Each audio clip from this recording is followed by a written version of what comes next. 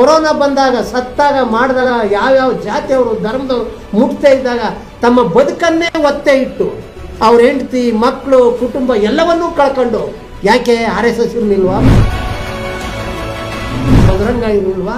ಬೇಕಾದಷ್ಟು ಪಕ್ಷಗಳಿಲ್ವಾ? ನಮ್ಮ ನೆರೆಹೊರೆಯಲ್ಲಿ ಬೇಕಾದಷ್ಟು ಜಾತಿಗಳು, ಧರ್ಮಗಳು ಎಷ್ಟಿದಾವೆ? ಯಾಕೆ ಯಾರು ಮಾಡಲಿಲ್ಲ?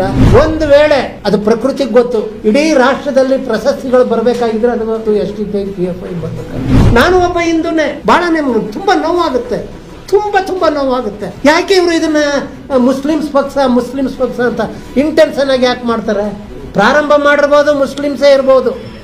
ನಾವೆಲ್ಲವೂ ಕೂಡ ಹಿಂದೂಗಳೇ. ನಾನು ಒಬ್ಬ ರಿಟೈರ್ಡ್ ಡಿ ಡಿ ಪಿ ನಾನು ಯಾಕೆ ಸೇರಿದೆ ಈ ಪಕ್ಷಕ್ಕೆ, ಪ- ಪಕ್ಷಕ್ಕೆ? ಹಸಿವು ಮುಕ್ತ ಭಾರತ, ಭಯಮುಕ್ತ ಭಾರತ ನಿರ್ಮಾಣ ಮಾಡಲಿಕ್ಕೆ. ಇಂಟರ್ನಲ್ ಪಾಲಿಟಿಕ್ಸ್ ಇದೆ ಇಲ್ಲಿ. ಇಂಟರ್ನಲ್ ಪ್ರಜಾಪ್ರಭುತ್ವ ಇದೆ. ಒಬ್ಬನ ಆಯ್ಕೆ ಮಾಡಬೇಕಾದ್ರೆ, ಇಲ್ಲಿ ನಾನು ಬೇಕಾದ್ರೆ ಸ್ಟೇಟ್ ಪ್ರೆಸಿಡೆಂಟ್ ಆಗ್ಬೋದು ನ್ಯಾಷನಲ್ ಲೀಡರ್ ಆಗ್ಬೋದು. ಇಲ್ಲಿ ಯಾರು ಅವರು ಕೊಡೋದಿಲ್ಲ, ಮಾಡೋದಿಲ್ಲ. ಅವ್ರವ್ರ ಕೆಲಸದ ಮೇಲೆ, ಜನಸೇವೆ ಮೇಲೆ.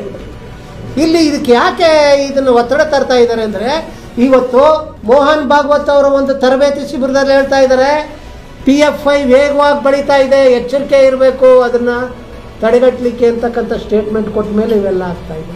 ಭಾಳ ಆಲೋಚನೆ ಮಾಡಿ.